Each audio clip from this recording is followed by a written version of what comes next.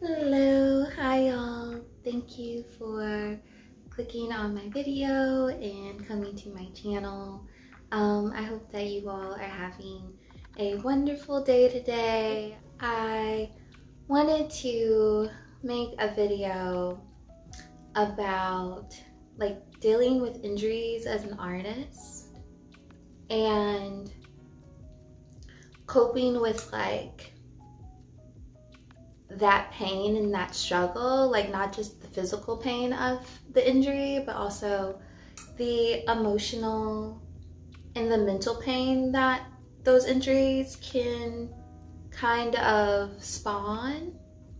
And I also wanted to talk about a loss of identity as well. Um, sometimes those injuries can cause an artist to not be able to create. And as an artist, I think, at least me, I guess I can speak for myself only, um, but I think many artists feel this way. We put so much of our value and who we are as a person into our artwork. It is so important to us. It's in a way like the reason that we live. It's the thing that makes us the most happiest in the world is to be able to create. And when that is taken away from you, when you are not able to create the way that you normally would, there's this like loss of identity in who you are. There's this sadness that comes upon you um and just like this void and this emptiness in this emptiness. And it's something that like I've really been struggling with the past couple months. And I wanted to just do a video because I've had to really learn ways of how to cope with it and cope through it and heal um, and I just wanted to do a video because I know I'm not the only person dealing with something like this um, or who will ever deal with something like this. Our experiences, the things that we deal with in our life are not only happening to us, but they happen to so many other people in the world as well. And when we share those experiences, um, it can make the world feel less big and overwhelming and um, make a person just feel more connected and and loved and not lonely in such a big space. So yeah, if, if you're dealing with something like that or anything, um, I'm to be talking about that in this video. So yeah, if you're interested, then please keep watching. So I, like many other artists, have been drawing since I was a wee little baby, a tiny little baby. Um, I remember like the first drawing I ever made was, of, or that I can remember ever making was this meadow with like sunflowers and stuff in it and bees. And I had two pairs of eyes in the sky. And um, I just loved it. Like I thought it was such a pretty piece that I had made and it made me so happy to know that I created it. It's funny because like I still very much make artwork like that. I love bees. Like bees are one of my favorite insects. I love meadows and flowers.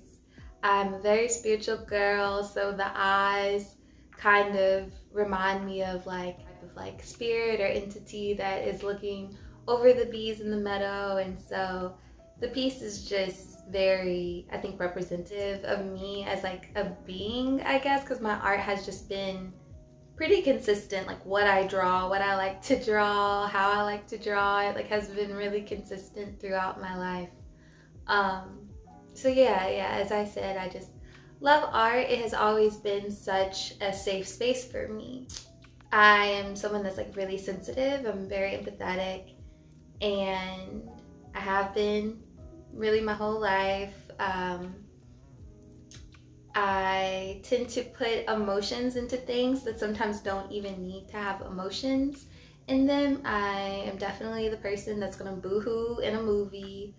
I'll boohoo in a commercial. I'll boohoo pretty much about anything. If I see another person crying, I'm probably going to start crying. It's just, uh, I'm just a very emotional and sensitive person. And when I was little, that was really tough because I felt like the heaviness of the world. And I would dwell on all of the sad things that happened. Like it seemed like the sadness in the world was just heavier than the goodness. And um, I was just like a really depressed little girl. I was really sad a lot. And um, art was the place that I could go and zone everything out. Like nothing mattered when I was drawing or painting. Um, nothing else existed. Any worry that I had, any pain that I had, it all just went away when I drew. And I would be stuck in my sketchbook for hours, just on end just drawing and I would just be silent in my room drawing. That was my thing. That was how I spent the majority of my childhood. It was just my little cocoon, my nest that I could go into and um, nothing else mattered. And I never really thought about the possibility of not being able to go to that safe space or the possibility of that safe space no longer being a place of like joy but actually a place where i feel pain. Um you know like i thought about the possibility of not being able of, of like something happening and not being able to draw or something like that but it was just like a ghost of a thought. It never stayed. Um until this year. This year, I had a pretty weird injury. I won't get all into it because it's such a long story. Um, but I ended up causing injury to my spine. And I'm someone that has scoliosis. So if you don't know what scoliosis is, it's where your spine isn't straight um, but it's curved. And so my spine kind of looks a little bit like an S. And um, and I've known that I've had scoliosis since I was little, and other than a little bit of like muscle pain, it's never caused me too much uh, problems. I can really do pretty much everything else that a person without scoliosis can do, um, or so I thought. so I thought. Um, but yeah, I ended up hurting my spine I hurt like my mid back um, and also my neck. And so right now I'm like kind of um, nursing or managing with the pain of um, a bruise on my mid back and then a um, they call it cervical instability or cervical laxity in the neck. And so that's basically having a sprained neck. So the ligaments in my neck are loose right now. They're not on like they should be. And it causes a lot of pain. Um, I've definitely healed through these past months. When it first happened, it hurt like fucking hell. Oh my god, it hurts so bad. Yeah, like if you've ever had like a sprained ankle or a sprained wrist, it is it oh god, it's terrible. And then to have that in your neck, I thought I was dying. Like I genuinely thought that it was the end. I was oh it was terrible. Um, because that like having an injury in your neck it's not like having an injury like in your finger or your toe or your ankle or something like that. Like it impacts your whole entire body. And severe neck injuries can cause neurological problems. It can cause, you know, someone being paralyzed and it can cause death. Like it can cause so many different things. And I'm so thankful that it was not, you know, to that point. Um, but it did cause me to have nerve pain and an inability to use like certain parts of my body for a while. Um, I would have excruciating nerve pain throughout my legs, my arms. I'd feel it in my head, behind my eyes. It was just terrible. And when people say that like they feel lightning through their body or there's this burning, aching sensation, like you hear that, but you don't really know what it feels like until it happens. Like I have a cousin who unfortunately suffers from sciatica and um you know and I know how how much it hurts her. Like she's not able to walk too long. Um sometimes even sitting you know aggravates it. Like anything can really aggravate it. And I knew that, I was aware of it but it's one of those things like until you feel that nerve pain, you don't understand. It's not something that you can just turn off. You, or you can just like mentally think yourself out of. It's excruciating. And um, my heart goes out to anyone in the world who suffers from uh, chronic nerve pain thankfully, that is not something that um, I'm dealing with. At, at, least I hope not. I feel like my injury has healed remarkably um, within the past few months. Um, but I know that it's something that can sometimes stay with folks, and it can be very debilitating. And as I said, my injury, I felt it because it was in my neck. I felt it throughout my entire body, and it really it impacted the way that I was able to use my hands.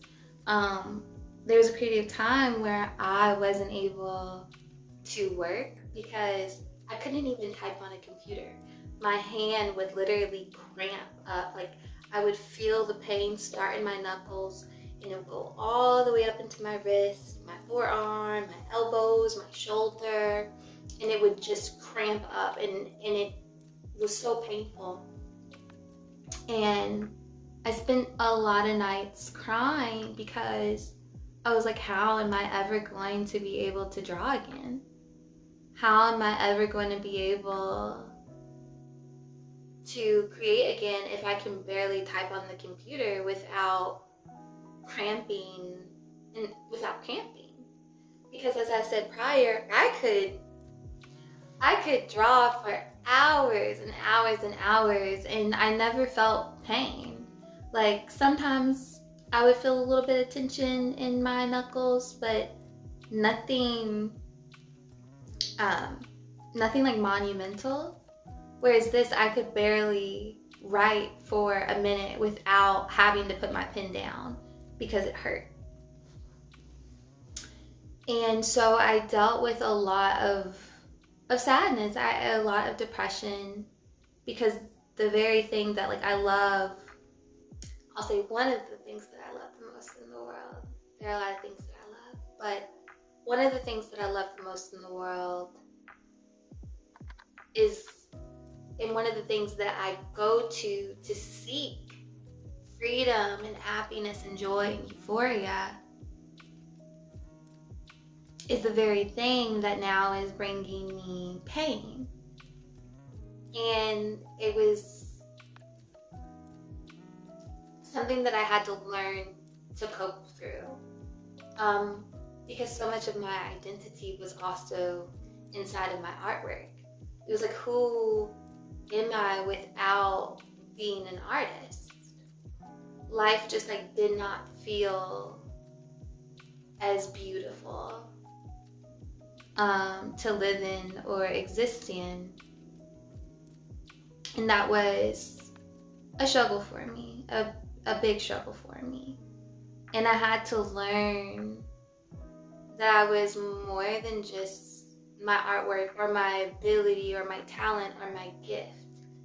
I had to learn that even without my artistic ability, I was still valuable because I put so much value into the fact that like I could draw or that I can paint really well. That was where I kind of like would validate my own self as a being. And I think that's something that we all have. We all have like some trait in us that we hold to a different esteem than other traits. Um, either it's like, oh, we're a really caring person, or we're a really funny person, or we're really good at cooking. I don't know. Like, it could be anything um, that we hold a lot of value in within ourselves and we put our identity into it. And when something happens when we can no longer do that thing, thing sometimes we feel like really lost. Um, and not like worth it in a way. And um, yeah, that was like really hard for me, and it's something that I'm still dealing with because you know I can't. I'm 24 years old, so something that I've been doing for 20 plus years of my life, which is putting my value of a person into my artwork, um, or putting my artwork into the value of myself, is not something that I can just change in a couple months.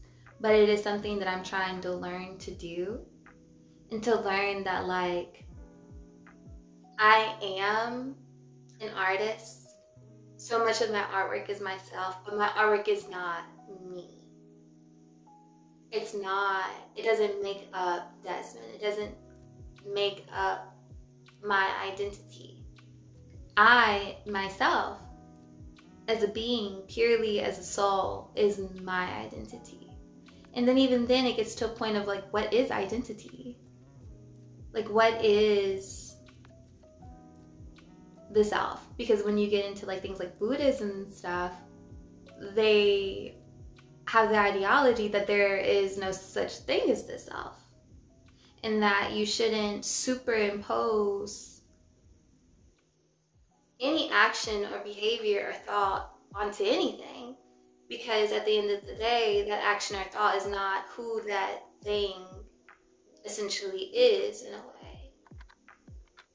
And so yeah it's just been it's been a bit of a journey but I just wanted to come on here because, as I said, I know I'm not the only person, the only um, person who is having struggles with doing their passion.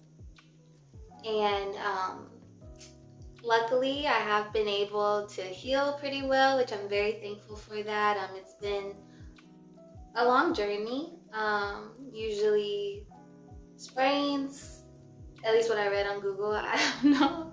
Um, it's on Google. It said they go away within four to six weeks.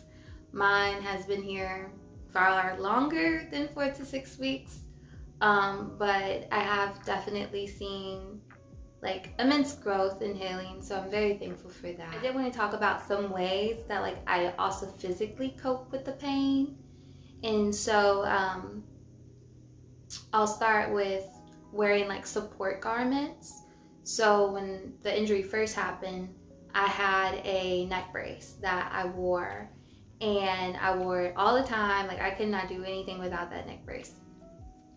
Um, I slept in it. The only thing I didn't do was take a shower in it. Um, now I'm more so wearing my neck brace if I'm out and about and doing things. Like if I'm in a car or something, I'll wear my neck brace or if I'm sitting for really long periods of time. So whenever I'm doing my art, I'll wear my neck brace because I, I don't know why, but when I sit, the injury feels worse. Like right now, it's really hot in my neck right now. Um, and it's, it's a bit burning and aching right now. But like if I were to stand or something, that it would go away. Um, I don't know why that is but um, but yeah. So if I'm sitting for long periods of time when I'm doing art, I'll put on my neck brace and I can go for a longer period of time um, without having too much pain or too much uncomfortability within like my neck, my back, and um, my hands. Another thing that I've added is compression gloves. Now, I don't know, maybe it's because my injury is not necessarily to my wrists or my hands themselves, but to my neck that I don't know if compression gloves are actually working for me. Like I, I see a lot of things on TikTok and YouTube and stuff of people being like compression gloves, compression gloves. And I'm very much a placebo person. Like if if you give me like a mocktail but tell me that there's alcohol in it and I don't know it's a mocktail, I, I'm probably gonna be that person that's like, ooh, I feel it, da, da, da, and it's it's not even there's no alcohol in it, and that's just that's just how I am. I'm very very placebo. So um, sometimes when I wear it, I'm like, oh yeah, it's working, it's doing its thing. But then I think about it, and then I'm like, I I don't know, I don't know if it's actually doing much of anything because it's supposed to help with like swelling. And to be honest, I don't really have a lot of swelling in my hands whenever I do my art. It's more so my knuckles just hurting or being stiff. So um, compression gloves may help. Like if you're someone that is an artist who's dealing with an injury, hand pain, compression gloves may help you. However, I I can't say that they've necessarily helped me too much. Um, another thing that I really like to do are Epsom salt baths. Now those Epsom salt baths are amazing. Like if you have any stiffness or tightness in your body, if you just draw some hot water, put Epsom salt in there and just soak, it feels so good. Another thing, and this is the hardest thing that I've had to like add into my process, my artistic process, is taking breaks.